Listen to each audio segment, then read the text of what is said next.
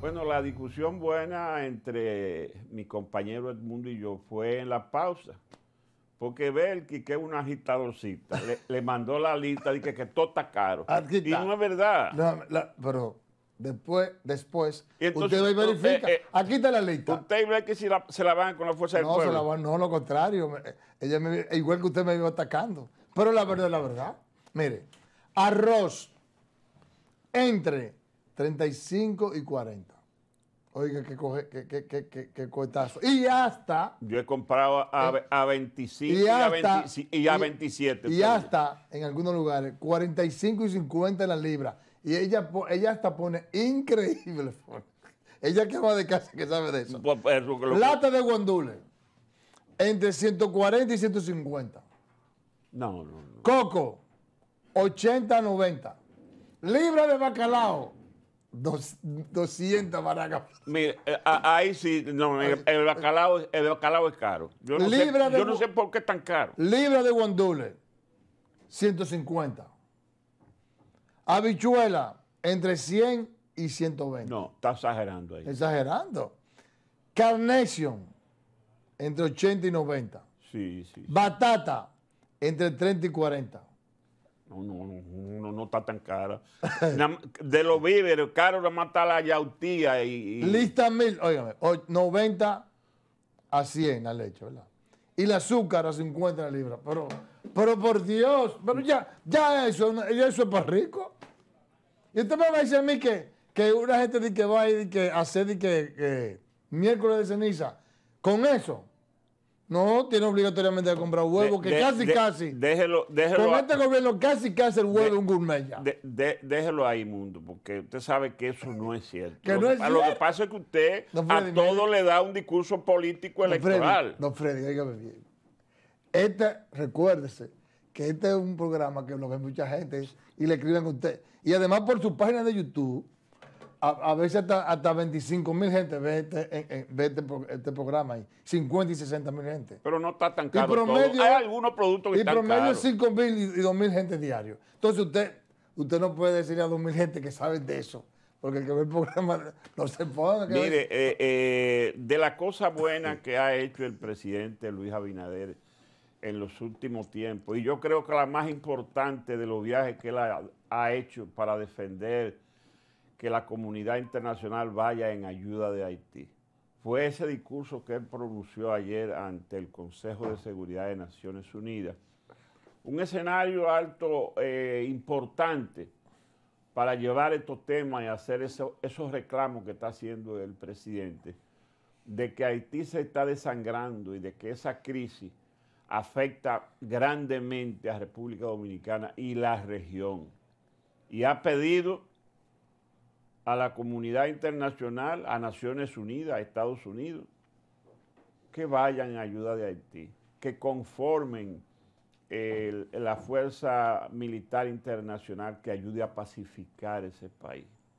Pero lo más importante de ese discurso que vamos a ver a continuación es cuando él dice,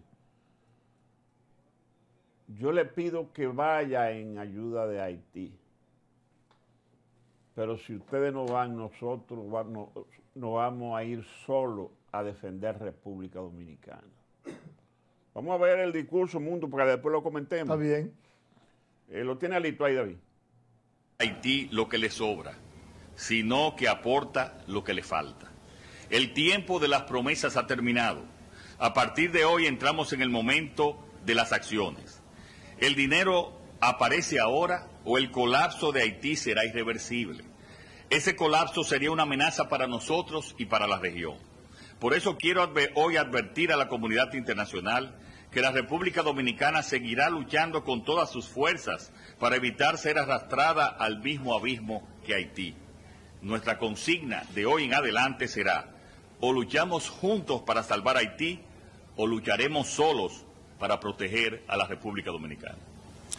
República Dominicana no da a Haití lo que le sobra, sino que aporta lo que le falta. Bueno, ahí está. Me gustó a mí ese discurso. Yo pienso que ha sido el discurso más, más alentador que ha puesto el presidente Abinader en su política de petición de ayuda internacional para Haití?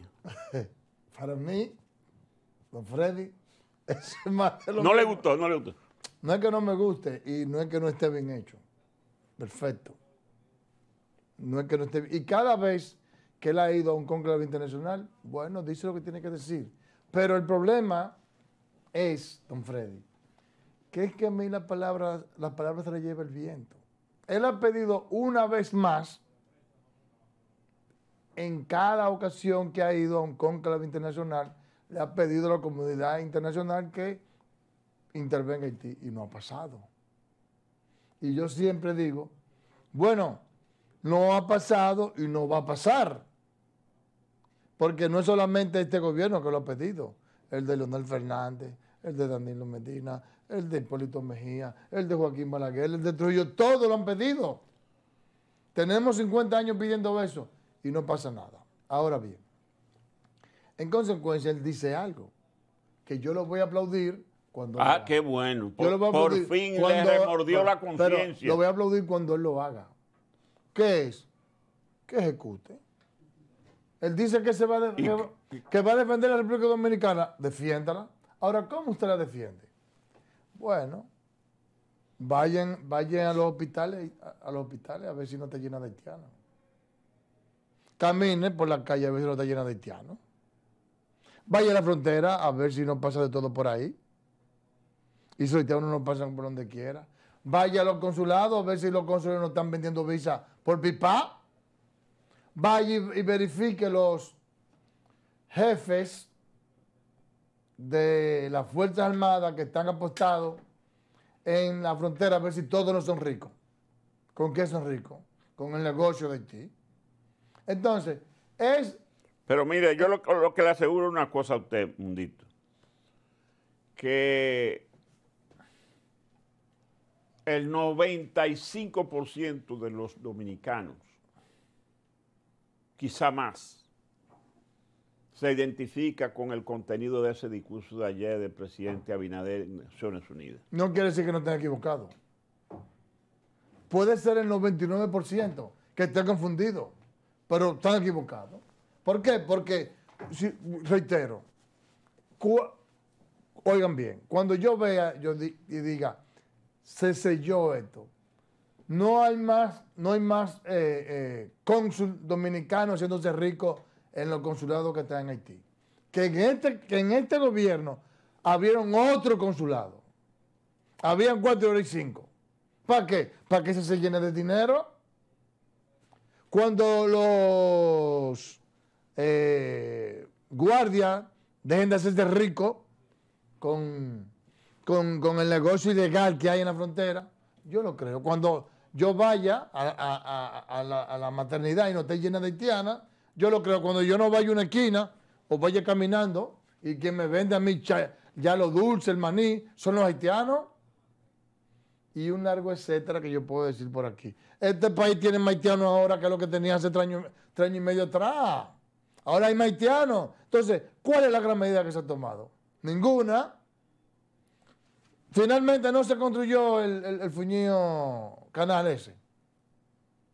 Y lo único que hizo, lo, lo único, lo único, el único resultado del show que hicieron en, la frontera fue que se, ca- se- se cayó el intercambio comercial. Lo que nos beneficiaba a nosotros, eso fue lo que jodieron. Entonces, la teoría es muy bonita.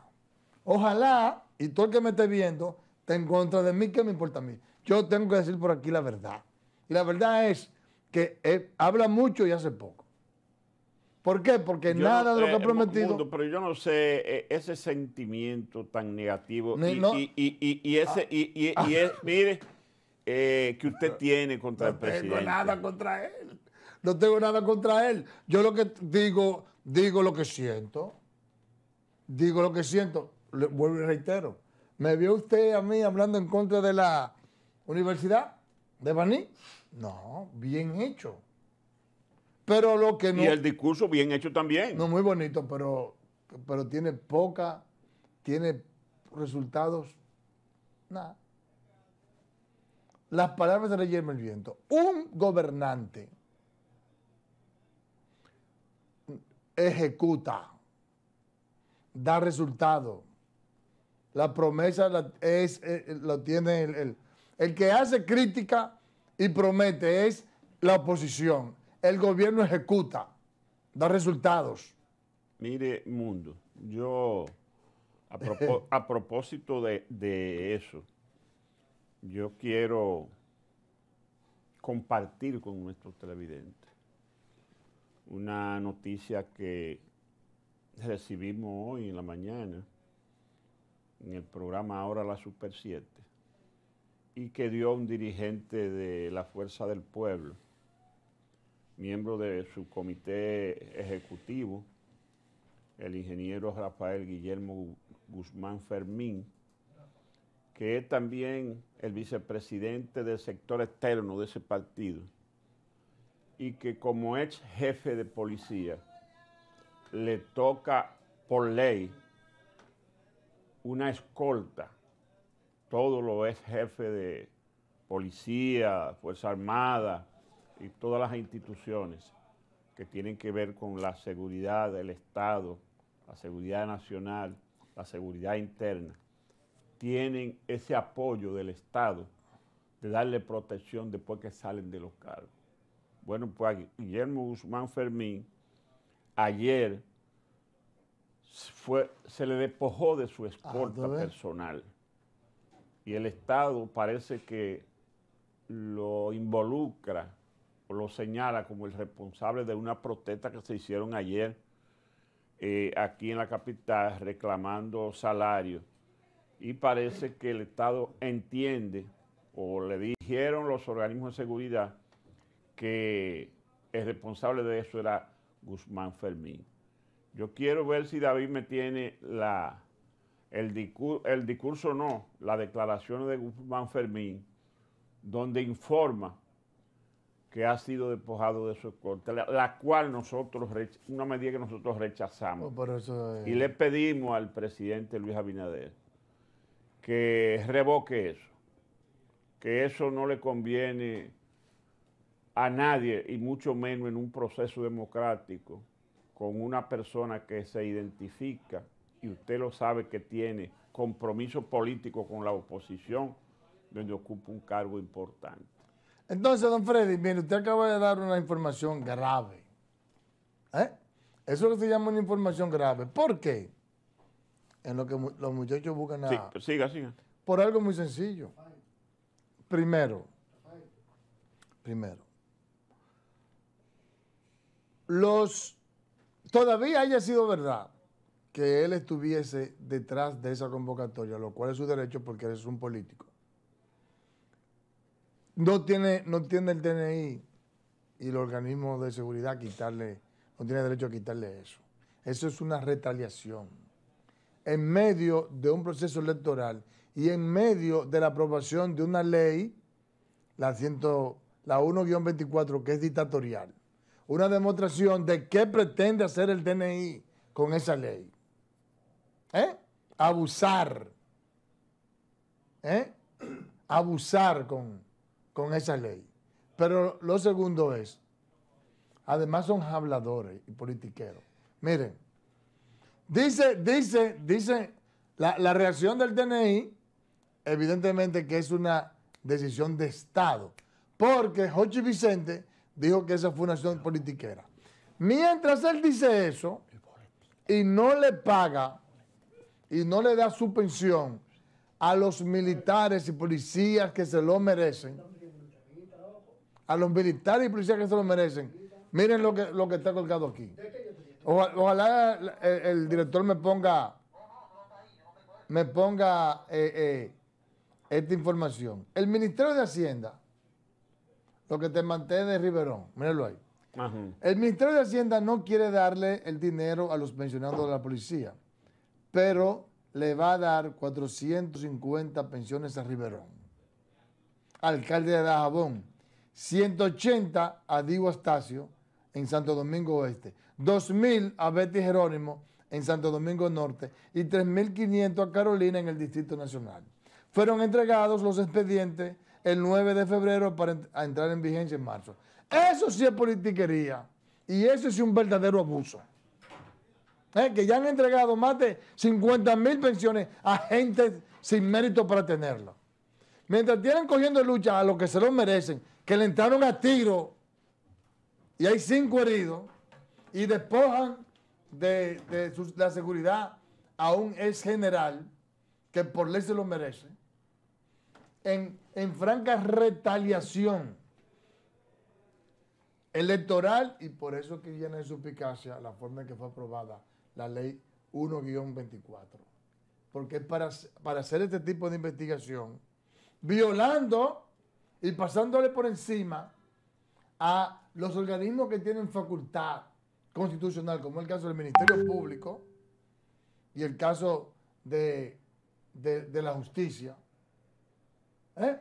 pasarle por encima a todos, a, esos, a, esos, a esas instituciones que tienen un, una facultad constitucional para eh, determinar qué se puede hacer y qué no. Ahora, el del DNI tiene más fuerza, más poder hasta que el presidente, el presidente de la República. Entonces, hay, gente que tiene 50, 40, 70, 80 mil pesos sin haber trabajado nunca en el Estado, solo porque, porque va a votar por el, por, por el PRM o porque hizo campaña por el PRM. Y entonces le entran a ti lo que se lo merece. Eso es lo que se llama vulgar politiquería. Mundo, con el permiso suyo, vamos a hacer la pausa.